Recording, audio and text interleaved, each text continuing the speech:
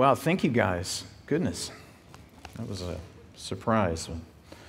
Blessing to be, as Eric said, um, called here at Thrive. It's just an honor. You guys are the greatest group of church family in all of planet Earth.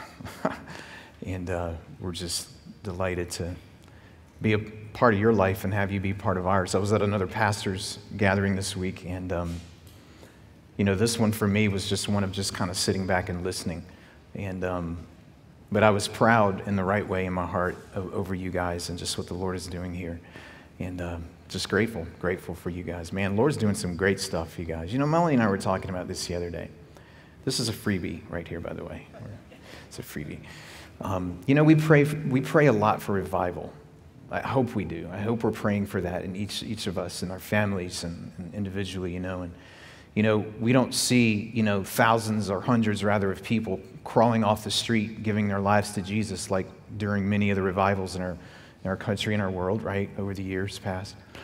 But when I look and see what God is doing in King George, and I hear through you guys the opportunities that you're having to be the hands and feet and voice of Jesus and truth in this community and beyond, I'm going to tell you straight up, I think there's a revival going on. And I'm not saying that to be like, ooh, you know, seriously. You know, it may not be of the type and the, and the, and the, and the size, rather, that, that maybe you read about in some books. But, but so many people, I've been, I've been hearing about people who are hearing and people whose lives are being changed and hearts are being changed. Some that I might sit back and go, really, them? Wow, that's amazing. That's a miracle. It is a miracle because I think God's reviving people. You know, and, and one of the things when Melanie and I came out years ago was, you know, that verse, and we're going to actually read it this morning, as the deer pants for the streams of water, so my soul longs for you. You know, and the writer of that psalm, you know, the sons of Korah, they were down, you know, and, and, uh, but they were longing for something he didn't have. And we've seen folks, and I remember you don't raise your hands, but you had checked out from church, but now you're here. And it's not about you're here, it's about you're back in a relationship with Jesus.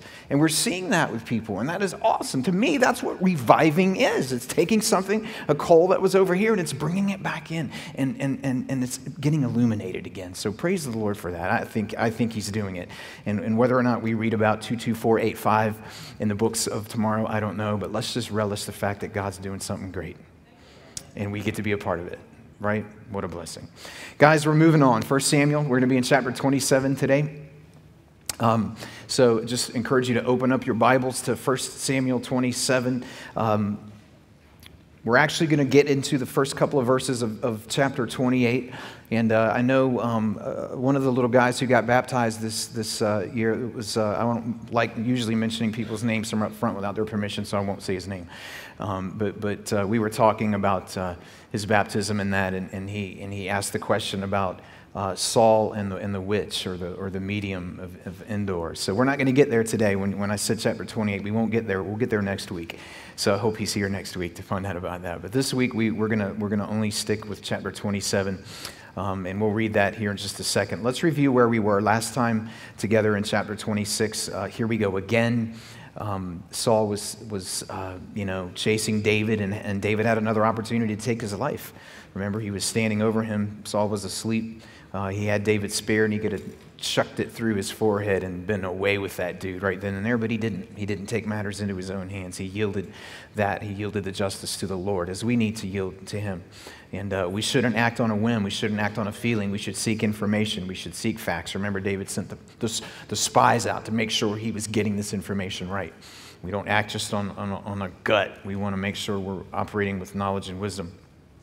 But instead of running from Saul, this time David went to him. Uh, and, and amazing, I wouldn't have done that. you know, if a man's running after me or hunting me down, I wouldn't go after him. I would run the other way. David didn't run the other way. David wanted to prove his innocence. He hopefully, I think, wanted to capture Saul's heart. He knew Saul was messed up. And I think there was a part of David that wanted to see him change. Guys, it's, it is not for us to take matters into our own hands, but that also does not mean we have to run the other way when times get tough either. And, and we kind of camped out on that a little bit last week. Well, apparently, God was in all of what was happening because he put this deep sleep over Saul and his men, and David was able to enter the camp, and nobody knew. Remember how David is like tiptoeing and all these men of Saul's are everywhere, and none of them woke up. Uh, you know, it's, it's not that, uh, you know, they had had a little bit too much to eat or whatever or drink last night. No, God put them to sleep. And uh, God wanted Saul to go in here. I think God had a, a lesson here, and one of those was this when God asks us to do something crazy, He's going to make it happen.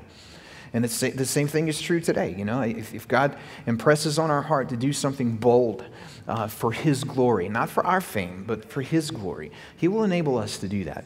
And uh, so David, uh, David's loyal man, Abishai, wanted to kill Saul right then and there. And, um, and you know, surely God would be okay with that, right? Because everything points to that. We're here. It's now, you know, the here and now. Here's the spear. Here's the man. Let's take him out. And David's like, no, we can't do that. God hasn't directed us to do that. And to take matters into our hands like that when God has not said to, that's a sin. David had that conviction and he lived by that. And we learned we're, we're not to be led by convenience or opportunity or, or situational ethics as we hear about it today, but we need to be led by a standard of morality and a standard of conviction. God, what is right? God, what do you want me to do? And regardless of whatever anybody thinks, uh, I'm going to do what you have asked me to do. So David, he gets Saul's attention, speaks from a distance, lets Saul know, hey, you've not, got no reason to pursue me, and um, and all of this, and and uh, then then David goes on to share kind of part of his heartache, and part of his heartache is the fact that as as he's on the run, he's not able to worship with his people. He's been chased away from his people and from uh, the, the worship with God's people, from the community, and we talked about how important corporate gatherings and worshiping God together. This morning was just a great, during song, a great time of worship unto the Lord, just crying out to Him. And I pray we worship Him now as we're in His Word. But coming together corporately and being in a community, in a Christian today, a Christian community where we have one another is very, very important. Uh, and, and so we kind of saw that come out, uh, coming out of, of David. Um, last time we were together. So David gives Saul his spear back. Uh, he, maybe he should have broken it with a flair for the dramatic, but he didn't. He gave it back. He's like, I don't need your spear. Uh, he wasn't about to go over in the camp and hand it to Saul himself. He sent a messenger, but we, we don't need a spear. We don't need to chuck spears at people. David, you know, he, Goliath had come at him with a spear, and he goes, Keep your spear. Uh, you come at me in the spear, but I come with you at you in the power and the name of the Almighty Lord God. And that's exactly what we need to do. We need to approach our situations, not with our spears and, and our frustration and our anger and what can we do to get even, but we just need to trust the Lord. So, after a great ending of chapter 26, today we move into chapter 27, and David, we're going to watch David cave. He's going to cave this morning to the wrong thoughts. And um, what was he thinking? What are you thinking, David? And that's a question that we need to ask ourselves often, is it not? John, what are you thinking? Have you guys ever, ever had to ask yourself that question? You find yourself going down this trail of thoughts that you know are not good. And it's like the Holy Spirit comes in and says, What are you thinking? That's what we're going to talk about this morning. There's one thing that can be so destructive in our life, and that's going to be the subject of chapter 27 that we're going to look at today. So let's read this chapter together, uh, along with the first two verses of chapter 28, 14 verses in all. Uh, let's do that together. First Samuel chapter 27, beginning with verse 1. And David said in his heart, Now I shall perish someday by the hand of Saul. There is nothing better for me than I should speedily escape to the land of the Philistines. And Saul will despair of me to seek me any more in any part of Israel. So I shall escape out of his hand. Then David arose and went over with the 600 men who were with him to Achish, the son of Maoch, king of Gath. So David dwelt with Achish at Gath, he and his men, each man with his household and David with his two wives, Ahinoam the Jezreelitess and Abigail the Carmelitess, Nabal's widow. And it was told Saul that David had fled to Gath, so Saul sought him no more. Then David said to Achish, I have, If I have now found favor in your eyes, let them give me a place in some town in the country that I may dwell there. For why should your servant dwell in the royal city with you? So Achish gave him Ziklag that day. Therefore, Ziklag has belonged to the kings of Judah to this day. Um, parenthetical insert by me now at the end of verse 6 to this day that means to the day this was written not like today 2023 or 2022 what year are we in? You get the point there. So to this day the day that this was written. Verse 7 now the time that david dwelt in the country of the philistines was one full year and four months and David and his men went up and raided the Geshurites, the Girzites, and the Amalekites. For those nations were the inhabitants of the land from of old, as you go to Shur, even as far as the land of Egypt. When, whenever David attacked the land, he left neither man nor woman alive, but took away the sheep, the oxen, the donkeys, the camels, and the apparel, and returned and came to Achish. Then Achish would say, Hey, Where have you been raiding today? And David would say, uh, against, uh, against the southern area of Judah, uh, or against the southern area of the Jerahmeelites, or against the southern area of the Kenites.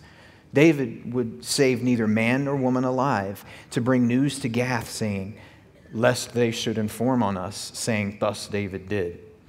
And thus was his behavior all the time he dwelt in the country of the Philistines.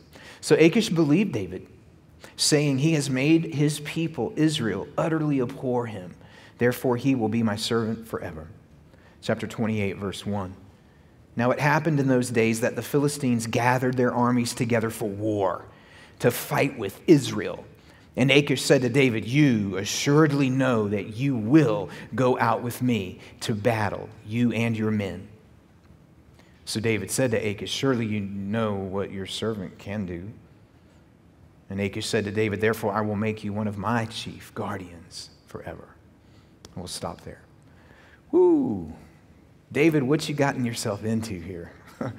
let's, let's talk about this. Listen, God's presence, His power, His promises, His faithfulness have been so evident in David's life. Yeah, David's had some, some bad times at it, right? But has God ever not been faithful to him? He has been so faithful throughout all of this. David was chosen. He was the least among all of his brothers to be the future king. He was picked to be this man after God's own heart. He wasn't just any Israel boy, he was the man after God's own heart. And God had given him a loyal friend. Remember Jonathan?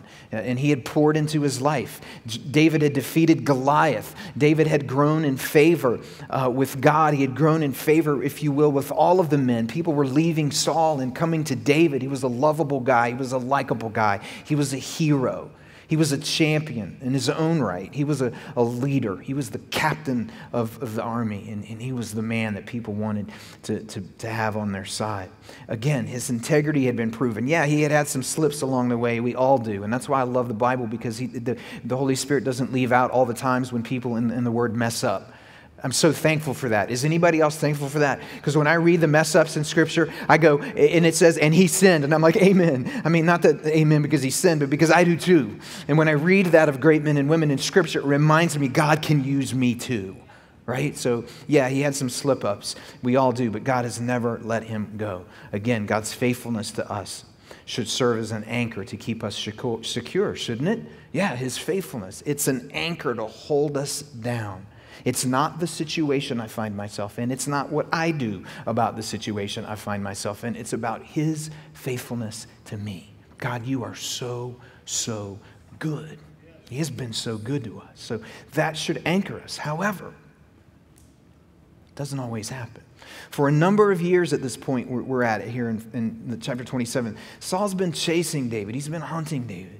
And even though Saul said last week, he said, I will do no more harm to you. Remember that? Well, two weeks ago at the end of chapter 26. Oh, you know, David could have killed him and he didn't. And Saul was like, oops. Then he's like, I, will, I won't harm you anymore. Hands off. I'm done, right?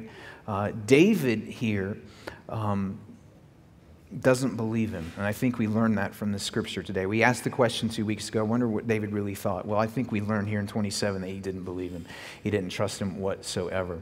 Um, so David here takes that belief, the belief that Saul is still after him and will kill him. David takes that belief to the next level. What has David been doing all up until this time? Minus a few slips, which we all had. As a whole, David had been trusting in God to deliver him. And we all need to do that, don't we? It's hard sometimes. It's really hard sometimes to trust God to deliver us when things are so difficult and so challenging.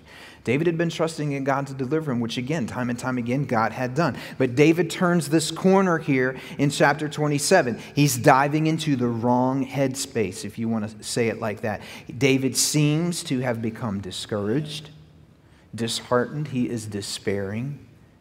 David, you could say, is uh, depressed here in this chapter. So, so let's make six points this morning and let's walk through this. I think the theme of this morning is going to be this fantastically upbeat, happy, smiley, fun topic known as discouragement. I want to I wanna raise a hands. I often say don't raise your hand, but I want to raise your hands now. Camera's not on you, I don't think. It doesn't matter. You don't have to give any details clearly. Is there anyone in here right now, in any capacity, that's going through a season of discouragement? Anybody? Look around, guys. Look around. And I know many probably aren't raising their hands. I'll raise mine. I'm not doing it just to be make an example because I am. Do you want me to tell you about it? Well, I'm not going to, but anyway. A lot of hands went up. So, so this is real. And David, for David, it was real. He was in a season of discouragement. Let's see what God's word has to tell us about it. But look, first point, let's make some points here. Uh, point number one discouragement is potent and it will cause us to make poor choices.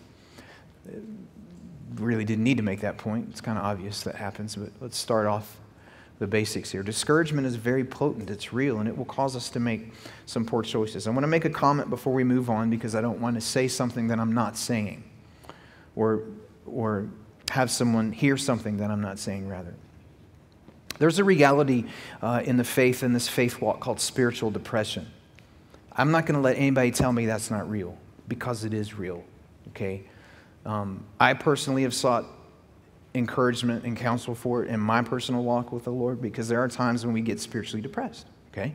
There's clinical depression, there's, there's, there's chemical imbalances that happen. These are two different entities, and they might be related and they might not be. I'm not going to speak from a doctor doctor's perspective because I don't understand that. What I'm not, uh, what I'm not pretending to do this morning, guys, and I want to make sure you understand me, and for those of you who are listening online, I am not the guy who's going to stand here and say, if you're down, just put your chin up and trust Jesus and everything will be okay. I'm not going to say that. There are those who struggle with depression and anxiety, and it's a real thing. So I'm not minimizing that. But the focus this morning I'm going to talk about is spiritual depression, okay? This is something that can happen. I think it's happening to David, and uh, that's what we want to kind of dissect this morning. So, remember, do you guys remember the story in the Old Testament of Elijah and the prophets of Baal? Remember that? It was so cool when we went to Israel. We got to go up on top of Mount Carmel where the showdown happened, you know. And here's, here's Elijah, and there, there are 450 prophets of Baal. And Elijah was fed up with the Israelites. So he called them all up and he said, Listen, guys, you got to make your minds up. If you're going to follow Baal, go follow Baal. If you're going to follow God, follow God. But we're going to put them to the test right now. So they erected this altar, and there were a couple of bulls. And he called all the prophets of Baal and said, Get your altar ready and, and call out to your God and let him cry out uh, send down fire and see what happens. Well, they're, they're doing all kinds of crazy stuff and they can't, they can't make anything happen. And Elijah was like, you know, you know, watch God, watch the real God show himself here. And they doused the fire three times. They doused the altar with water. And man, God just sent fire down and just lapped the whole thing up, man, consumed it. And then Elijah's like, go get them. So they went and got the 450 prophets of Baal, and the story ended with a huge success for God and for Elijah. And then in the next chapter, Queen Jezebel is like, I'm going to get you, Elijah. So Elijah's like, and he runs off and hides in a cave. And he's like, oh, I'm going to die. God's like, what are you doing? 1 Kings 19 9 says, The word of the Lord came to him, and he said to him, What are you doing here? How many times in the midst of our issues, of our downness, has the word of the Lord spoken to us and said, What are you doing? What are you doing? I'm not mad at you, but what are you doing? There's something better for you. God's word comes to us in power in the same way. And we have to hear the same question being asked to us John, what are you doing? What are you thinking? So, the very opening of this chapter in verse 1, David said in his heart, let's stop right there. David said in his heart, maybe you're thinking something, or you're, does anybody talk to themselves in their mind? Do you ever have conversations with an invisible entity that's not there, that never was there, but you're speaking anyway, and you're going down this rabbit trail and you're talking? Who are you talking to? Who am I talking to?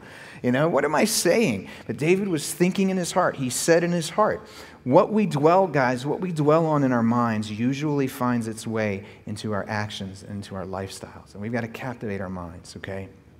One of the things I used to tell the young people when I did youth ministry was this, and I think I can remember this, and I've shared it with you guys before too. What you think oftentimes becomes what you say, can become what you do, and if we're not careful, can become who you are.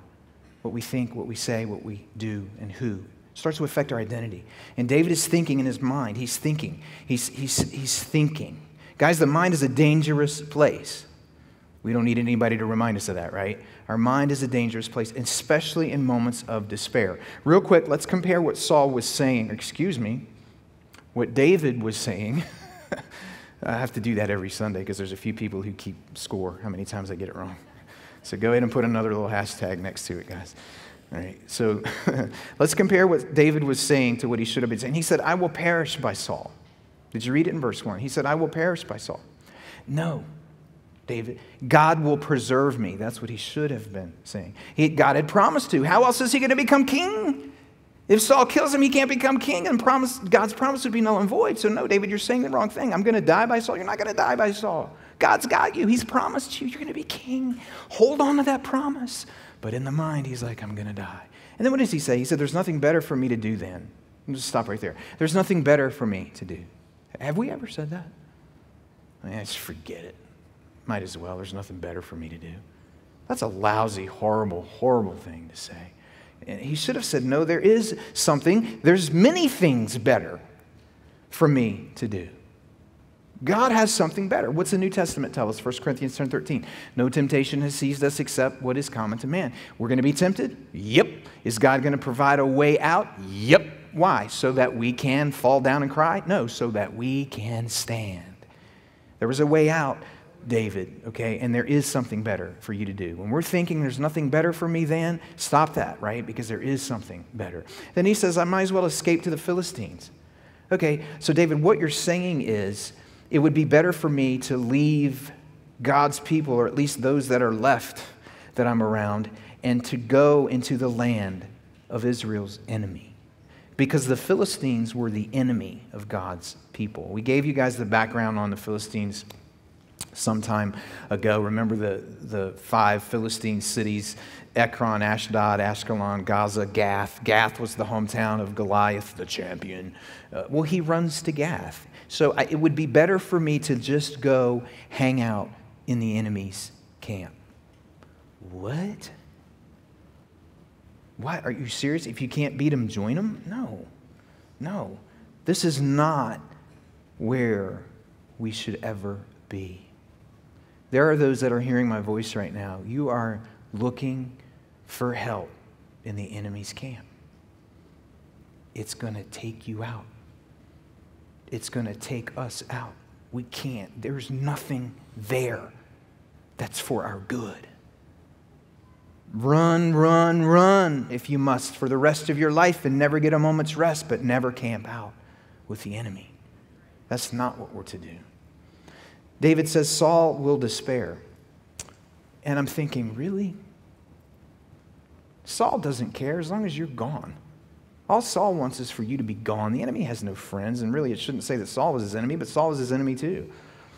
No, David, it's not Saul that's going to despair. You're going to despair. If you're going to go hang out with the enemy, you're going to despair. Sometimes we want so much to affect what other people are doing, and we want to affect their thinking, and we want to affect their actions, but, and we do something at the expense, at the detriment, at the demise of our own.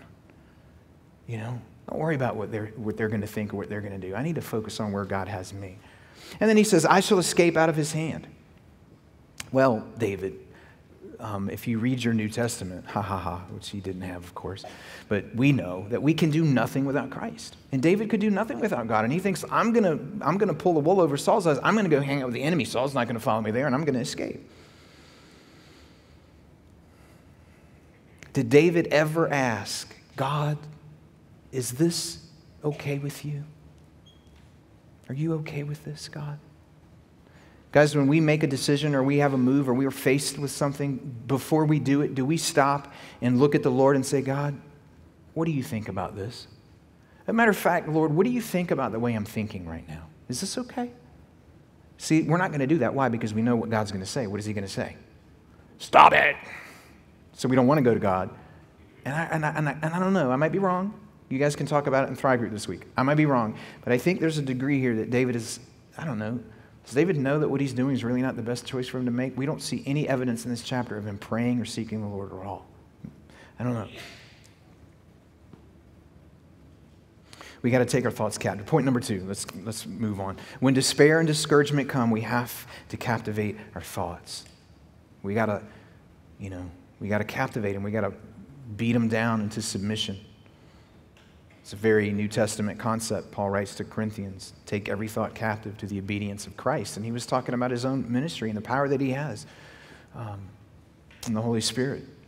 Because, guys, if we obey our thoughts instead of obeying Christ, we lose, right?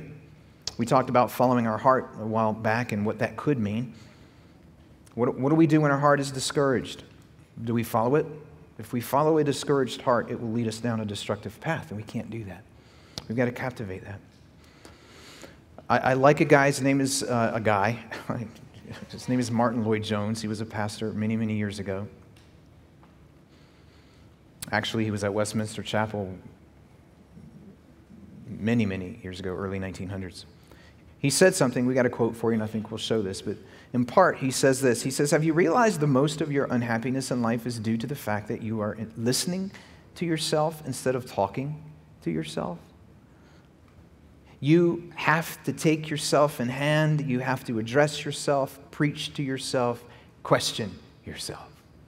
Now, that's a very small excerpt from a much larger quote that he had. We don't have time to read the whole thing, but, but you have to not listen to yourself, but you have to speak to yourself. Well, I just said earlier, we got to be careful because we're talking to ourselves. What are we saying? So, Martyn Lloyd-Jones is correct. We can't just listen to these voices in our head and obey them. We have to speak to ourselves. But the question is, what are we saying to ourselves? Because we could just nurture the thought that we're thinking and speak the wrong thing, and then we're still going to wind up in the wrong place. We'll, we'll qualify this just a little bit later in the message, but let's keep moving on here. So, David's thinking here led to action. It says that he arose and he went to Achish, the king of Gath. The problem is, though, he took the 600 men with him, he took his loyal men with him. He was their captain, he was their leader, and they were following him. They were following his misleading. Point number three when it comes to discouragement, when it comes to our actions, when I act on discouragement and despair, I usually end up taking someone with me. We never go alone, we never go down alone. Taking someone with me. Maybe you struggle with discouragement or bouts of discouragement in your own life, and you, you try to get through that without affecting those who you love. It's impossible because if they love you, you're going to take them with you. And it's not like you're trying to hurt them, but it's going to happen. And I don't think David was intentionally trying to hurt his men and the families here, but when David's going into the enemy camp, these 600 men are going with him. I don't want to lead my 600 loyal men into the enemy's camp. I shouldn't be going into the enemy's camp. You've got to be careful with that. Where am I going in my mind? Where am I going with my feet? What am I thinking? And more so, where am I taking the people around me? Where am I taking my wife and my family and my friends and my church family? You know, am I taking them further away from God's people? Am I taking them into a den of idol worshippers? Where are we taking one another? And that's exactly where David was taking his, his family and his loyal men into a den of idol worshippers because he was despairing. So we take others with us. Remember, again, in chapter 26, David was lamenting the fact that he was pulled away from God's people, that he was pulled away from community, that he was pulled away from corporate worship, and yet here he's making the very choice for himself. You're not going to find the best living, spirit filled church in Gath. it's not the place to go. Yet that's where he went because he thought there was nothing better for him to do.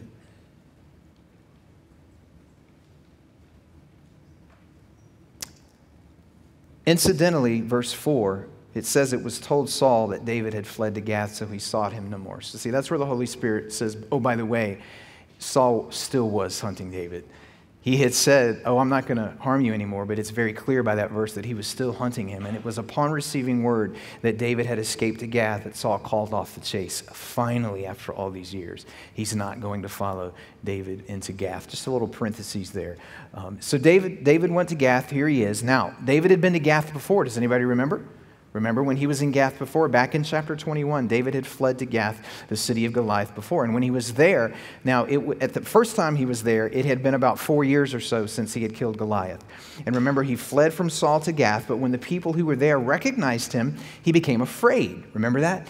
David, they, they, they became afraid when they recognized that it was David. So, David, what did he do? He pretended to be a madman. And Achish, the king said, Get that man out of here. You know, I don't need his likes here. Um, so, so here we are again in chapter 27. Um, it's been about four more years Okay, so it's been four years since he had been there before, and we find him in Achish, or rather in Gath with Achish again. And David thinks it's going to work out better this time than it did the first time, right? It's like, okay, the, the, the Goliath thing has been settled. Um, uh, I'm, you know, I'm not salivating at the beard anymore and running like a madman. Maybe it'll be better this time. Uh, guys, insanity, it has been said, is doing the same thing over and over, expecting different results. David had gone to the enemy's camp. Once it didn't go well, but here, four years later, he thinks it's going to work out for him. Well, let's see how this works out for him. Now, this time, unlike the previous time, because David didn't have saliva in his beard and he wasn't foaming at the mouth and acting like a madman because he was being, you know, chased by Saul. This time, uh, David didn't act that way. Achish did not kick him out. Again, David didn't act like a madman, but if you think about it, actually, he may have been more mad this time than he pretended to be the last time. Why in the world are you thinking you're going to set up camp here, right? And so, did here's the thing as I read this, is like, did Achish remember that? Did Achish remember David from, from four years prior? Like, isn't this the guy that was the madman? Like, but I think Achish was very opportunistic, and we're going to see that uh, this, this time as it's a little bit different. So watch this. Both David and Achish did not like Saul. It was very clear. And Achish had heard everything that Saul had been doing to, to David. Achish knew that, um, that Saul was chasing David. So Achish is like, hey, here's an opportunity, right? He knew Saul hated David and Achish hated Saul. So what is he thinking here? This king, this Philistine, this idol worshiping Philistine king, thinks he's going to take David and his 600 men and use them for his own mission against Saul. Now, maybe militarily that might be a cool thing to do, but when you're a man of God in the enemy's camp, you're going to get used, David. The enemy wants to use you. Guys, if we're hanging out in the camp of the enemy and they're trying to talk smack and be all cool and, oh, here's what I have to offer you. And you go home and you think about it in the quiet recesses of your closet and you're like, oh, yeah, there's some good in this for me. There's no good in this for me. The enemy wants to use you. And he'll get what he can get out of you and he'll spit you out because that's what he does. Point number, what are we on? No, we're not. I told the folks at the tech table, here's what happened. This is what happens when you get your notes to the church secretary before you actually finish your message. So we're not on point four. We're going to skip point four and go to point five. Okay? All right? So just it's the way it works sometimes in reality. okay? Point number five when we cave to discouragement, the enemy will use us. When we cave to discouragement, the enemy will use us. Now, for those of you who are craving order right now, have no fear, we will go back and do number four. There's nothing spiritual about the fact that the note sheets had already been printed before I made this change, so it's okay. But if we cave, and when we cave to discouragement, the enemy is going to use us. Guys, we're going to read more in chapter 29, but here's, and we get a little bit into it at the beginning of 28. We'll, finish it up in a few weeks. But Achish the king he, and the Philistines, they're preparing for a great battle. And this great battle is going to be against Israel. It's going to be against Saul. It's going to take place on Mount Gilboa, and we'll read about that. But at this point in time, Achish looks at David and looks at his men and goes, Oh, yeah. Oh, hi, David. You know that Randy Newman song? You got a friend in me. That's what Achish was singing, right? He was like, Oh, David, I, uh, come on, man, come on in. You know, he was using him. He was using him. We don't want to be in that situation. Look, when we're down, we're actually drafted into the enemy's army. We can be. He'll draft us in. And in this warped state of mind that we can find ourselves in, that can do more damage to God's people. And it can really contribute to an, a win for the enemy. And we don't want to do that. David's getting ready to, to, to link arms with the enemy against his own people. He's really digging, he's dug a hole here. What's going to happen? We're going to find out. Not today, but we'll find out. Moments of regret when we look back on episodes like this in our life. We talked about that a few weeks ago. We, we don't want to create more moments of regret when we're making decisions like this in a warped state of mind. Now, it's interesting here. David, it tells us David didn't want to live near Achish. Okay, so he's hanging out. So David's got a, he's David's crafty. David's being crafty here, and he had his own mission that he wanted to keep secret from Achish. David was pretending, oh, well, you know, it would be dishonorable for me to live in the royal city with you, King Achish. So, um, you know, which I'm sure Achish would have been like, oh, oh yeah, I am the king, aren't I? You know, that would have made him feel real good. But, but, but Achish was glad, it says, to give him Ziklag. So basically, the king, uh, Achish, gave David this place to, to live called Ziklag. It's a city, and it was actually a city God had given the Israelites anyway. Um, it had been taken, it had been given to Simeon, the tribe of Simeon, but the Philistines had stolen it. God was giving it back, but this is a, a weird situation that's, that's going on here. So, what David was doing, as we've read this morning, is David was raiding some of the ites, the, you know, the ites, the Amalekites, who were the foes of God's people. They were the enemy. And, and back in Deuteronomy, in several places in the earlier part of the Old Testament, when God had given the promised land to his people, what did he tell them to do? He, he said, You need to drive the Canaanites, the Amalekites, all those ites, all those enemies to the, to the, the code of God, if you will. Drive them out. I'm giving you this land. And they didn't do that. They didn't drive out, they didn't dispossess the people and take full possession of what God had called them to. And that trickled down and it became problems for generations to follow. So, in a way, David is so David's taken these guys out here. In a way, you could say, okay, well, that's a good thing. Um, God had told him to do that anyway. But the way he's doing this, because notice, notice what he's, he's doing here. Even though there's a degree that these ites should be taken out, David wants to make Achish think that he's actually attacking his own people, Judah. Now, now because Achish would say, Well, where have you, where have you made a raid today? And David's like, um, uh, Judah. Dude, so you killed your own people? That's not what he was doing, but he wanted Achish to think that while he was doing this other thing. Now, some might go, well, you know, that's a good reason. You know, he lied a little, but that's okay because at least something good came of it. Is it ever good to lie? Is it ever good to be straight out deceptive in this way? Talk about that in your Thrive group this week, right? Um, lots here to think about. And we've actually done that before. We've talked about that. But look, this move, this move that David had made into the enemy's camp, it was a move that started with him being discouraged. What I think is clear here is it's digging a deeper hole for David. It really is. Um, David destroyed every living being. He took out every man, every woman of these ites. He just destroyed them. Because he thought he was doing good for God? Was David thinking, well, I'm finally going to take out these Amalekites, which my people should have done before me? Is that what he's thinking? Maybe some, maybe not. But scripture tells us that he did this so that there would be no survivors to come back and go, no, here's really what he's doing. He didn't want to get told on. Are you guys tracking? This is like a, there's, this is kind of like a lot of deception going on in this chapter. You know, and we don't want to kick David to the curb for being a, a bad guy, you know. We know he's struggling, we know he's down. But David didn't want any survivors to squeal on his mission. He wanted to keep this thing a secret. And he did. Because it tells us at the end that Achish trusted him, Achish believed him. He succeeded in doing this. But look at back at verse 5. Just the wording here. David, David says this to Achish. He says, If I have found favor in your eyes. Now let's think about that for a second. Some might say, well, yeah, he's just being, he's just being deceptive. It's okay. I don't know. I don't, I don't know. He called himself Achish's servant. It's like, why would you even want to seek the favor of this man? Why would you even want to partner with him? He's a pagan enemy of God's people. He's a pagan enemy of you.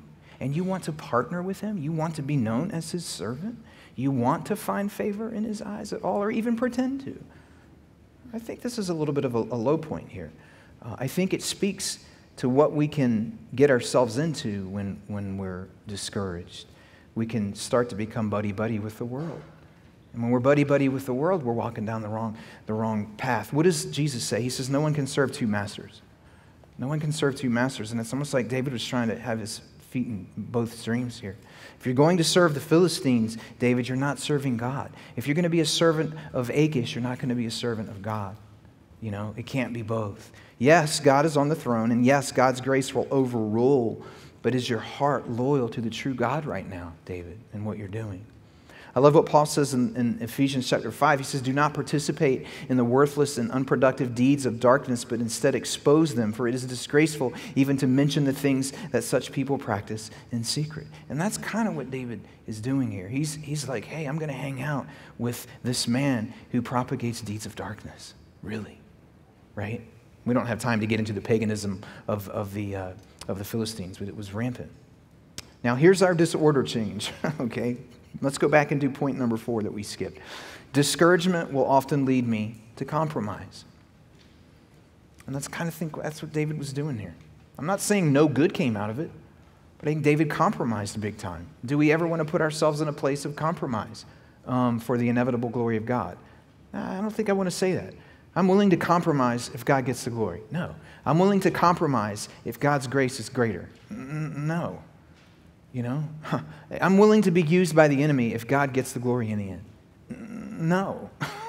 yes, God gets some glory. Yes, His grace is greater. Yes, He's a forgiving God. But we don't walk into those situations like that. So Achish believed him. Now look at how this ends, and we'll finish with this. And I have some application for us, and then we'll close in worship and song. This big battle is coming. You can hear the drum beat in the background of the movie score here. It's a big battle, and, and um, you know, no, no surprise ending if you guys have read ahead. Saul's going to die in this battle. He's going to be killed. They're going to hang his body. We got to see the temple area where his body was hung. That was so cool. We'll show you pictures when we get there. But Achish tells David, hey, you're going to go out to battle with me. And David's like, is he gulping here? Is he like, oh, yeah, I'm going to go fight and kill the, uh, my people. See, he had told Achish that's what he had been doing. Oh, I've been making raids in, in, in Judah. Okay, well, then let's really make a raid. Let's go into full out war.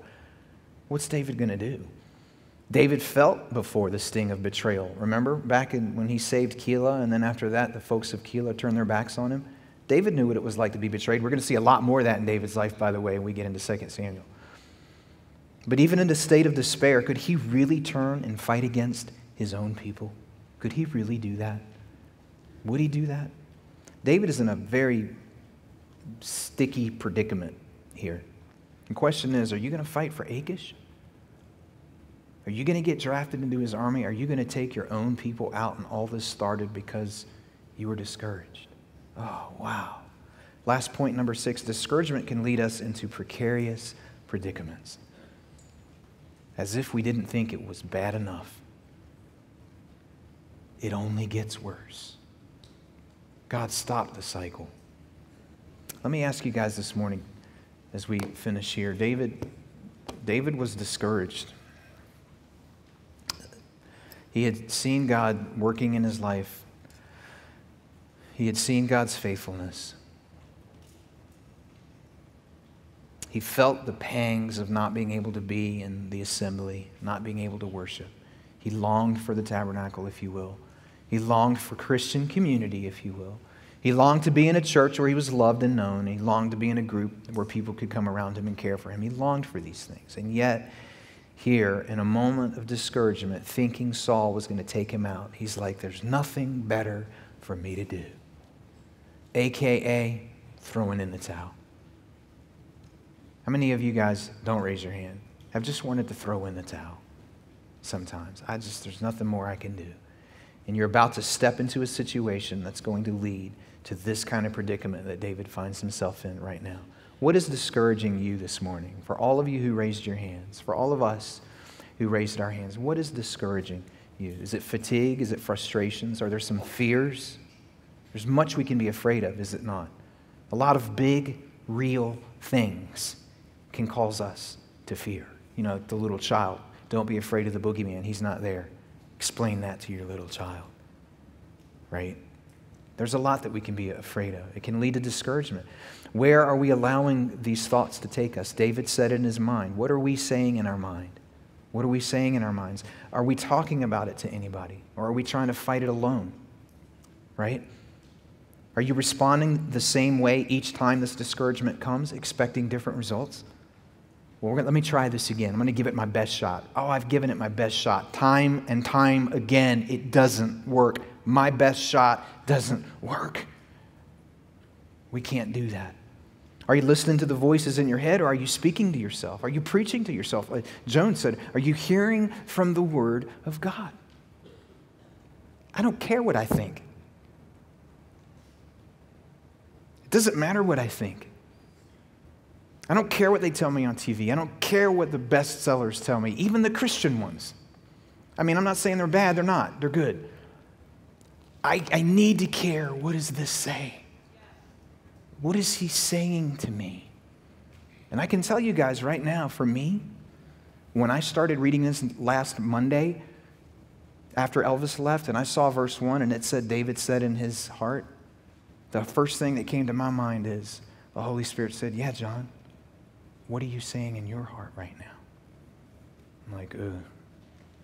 God, did you hear that? He's like, Yeah, I heard it.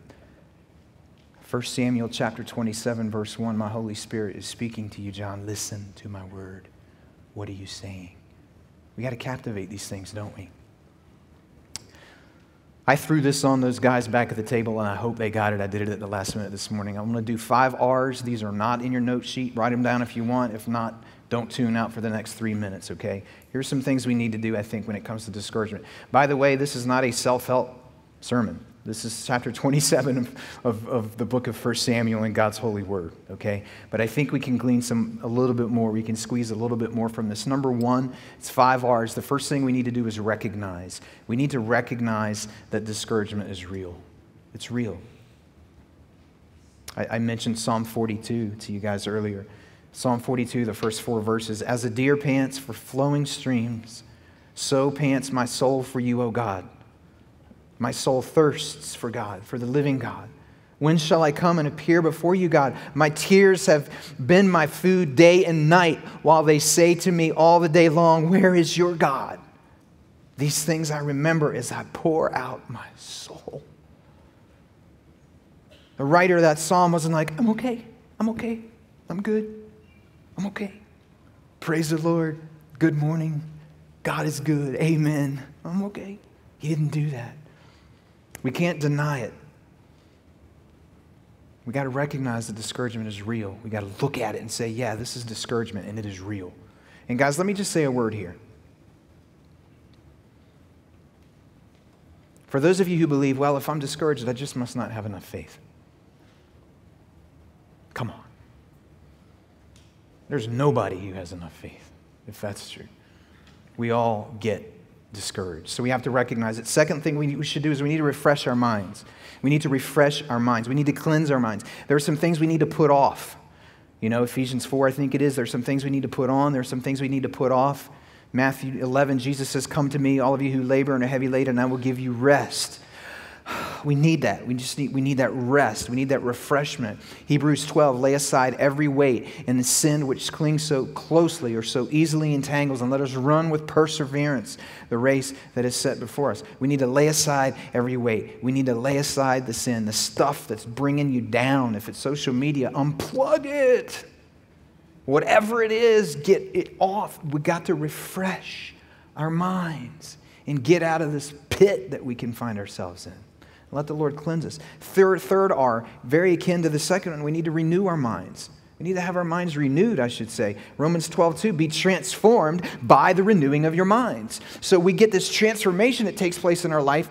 That transformation comes as a result of having our minds renewed, and that is happening by the Spirit and the Word of God. So we have to have our minds re- renewed. And then the fourth R, uh, these are all very closely related. We need to reset our minds, okay? We've got this refreshing that happens, our minds are renewed, and that's a constant process which never ends, by the way, but we constantly also have to hit the reset button. You guys ever hit a reset button on an electronic device? Sometimes you just can't troubleshoot it, you just got to reset it, okay? You know what I mean? I used to have computer problems all the time and it wouldn't print, and it wouldn't do this, it wouldn't do that. And I asked the guy who did our computer stuff, I'm like, what is wrong with my computer? It's broken. And he's like, no, it's not broken. Just turn it off and turn it back on.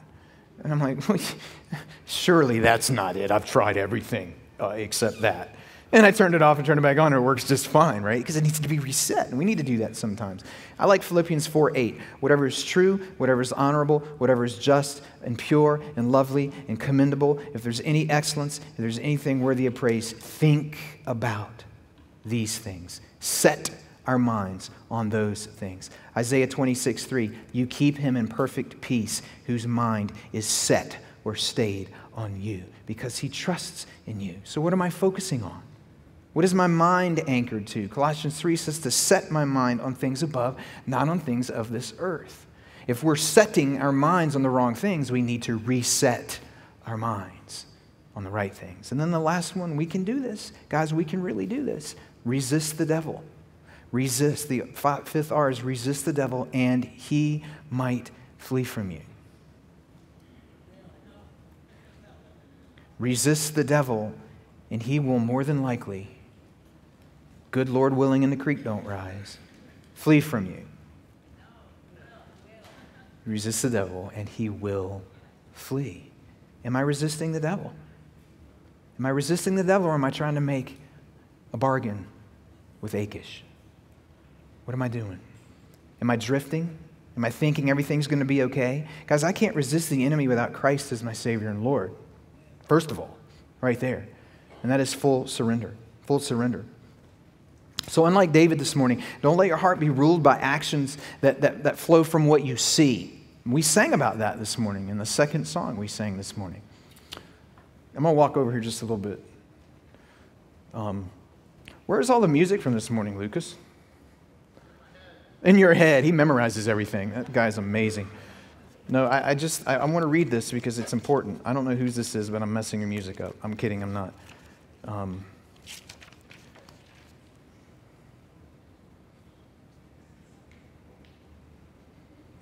See, this is why I should prepare better. But no, I just thought about this when we sang this morning. I'm going to find those lines.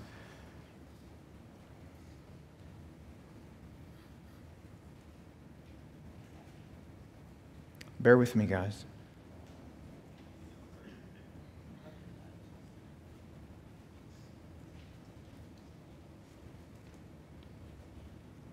I won't bow to idols.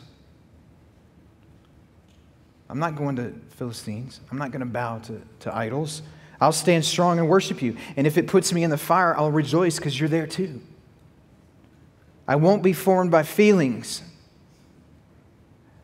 I hold fast to what is true. I won't be formed by feelings.